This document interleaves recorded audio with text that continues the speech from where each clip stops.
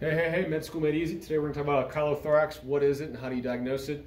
Um, this is a uh, collection of lymphatic fluid. Chyle means uh, lymphatic.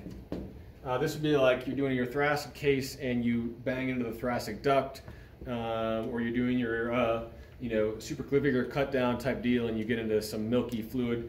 Um, so first things first, one way you know that if this is lymphatic fluid or not is by its character and color. People say the lymphatic fluid is milky white.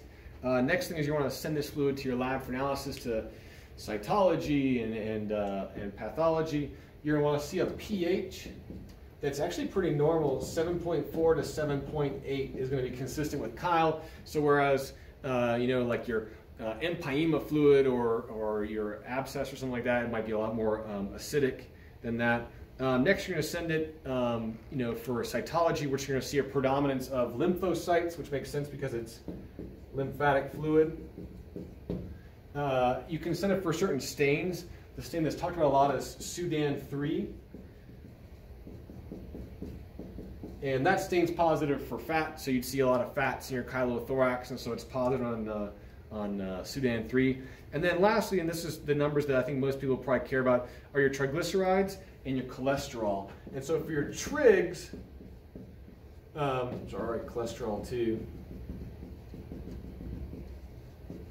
This is that fatty fluid, and so you're going to see um, greater than 110, and the measurements for this is going to be milligrams per deciliter. Um, cholesterol, on the other hand, you actually want to see it less than 200, same, same units there, milligrams per deciliter.